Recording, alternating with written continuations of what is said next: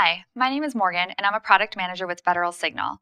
In this service how-to video, I'm going to show you how to sync and alternate your IMPAXX 6 lights. First off, you have to set one of your lights to be in follower mode. To do that, you hold the green wire to ground for 3 seconds.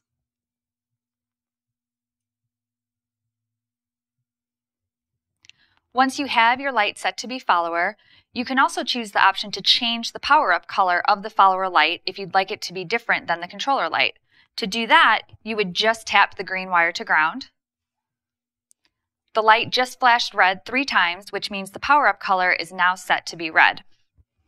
Once you have your controller and follower set, if you want to alternate your lights, you would just connect the orange wires.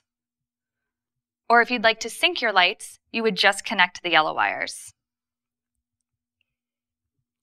From here, if you'd like to change the pattern, you can actually do that by just tapping the green wire of the controller and it will change the patterns for all of the lights.